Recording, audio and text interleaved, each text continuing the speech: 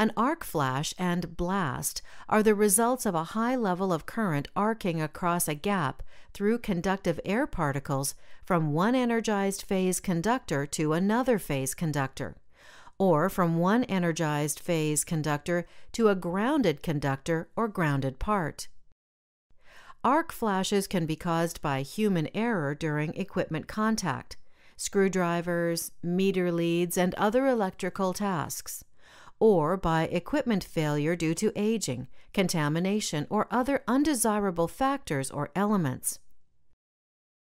In this photo, you can see the results of an arc flash where the victim was pelted by molten metal, burned by the superheated ball of gas, and suffered probable broken bones caused by the extreme force.